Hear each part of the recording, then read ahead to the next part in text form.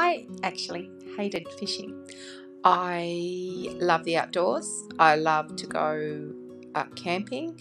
I love the water. I love boats, but I did not like fishing.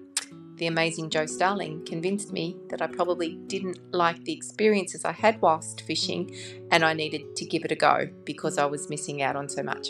And she was very, very right. I actually get it now. Fishing isn't boring, it isn't stinky bait because they're soft lures. I never knew that.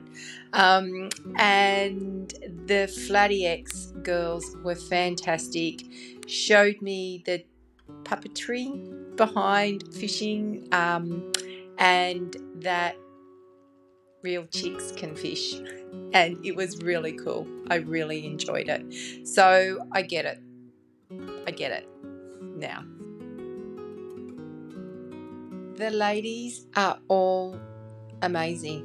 It's such a diverse crowd. It's all age groups, all um, professional backgrounds, um, united by a sense of love for fishing and the environment, and support for other women and um, other fisher people.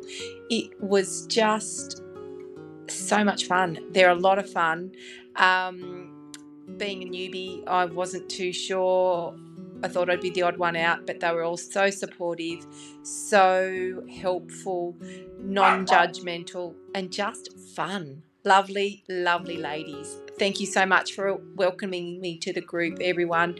And um, I look forward to continuing my journey with you. Amazing ladies. Thank you. See ya. Oh, what Little a beauty. buddy.